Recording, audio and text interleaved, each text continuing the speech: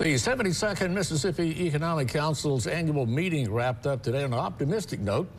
12 News senior political correspondent Richard Lake was there and has more on what state leaders had to say about Mississippi's economy.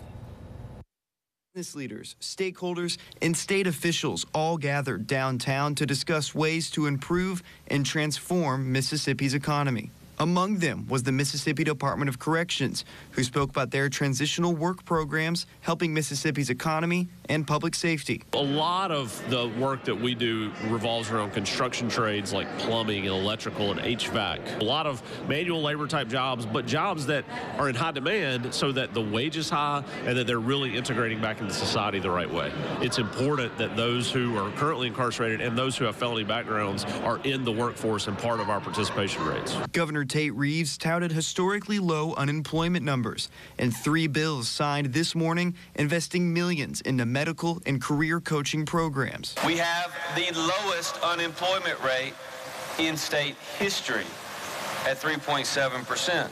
These coaches are helping Mississippi students navigate the complexities of the labor market and helping to equip them with pathways to successful job opportunities. For the Economic Council, this year's meeting proved Mississippi can compete economically. Mississippi is no longer 50th, and we need to take pride in that.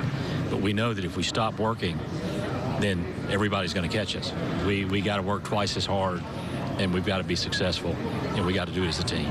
Reporting in Jackson, Richard Lake, 12 News.